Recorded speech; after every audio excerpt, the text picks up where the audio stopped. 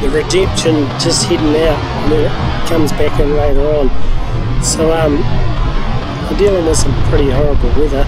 A lot of the the boats um, haven't been going out because the weather's been so horrible. I think it's some of the longest periods of rough weather we've had for a long time. So uh, yeah, they have to deal with some pretty uh, crazy stuff.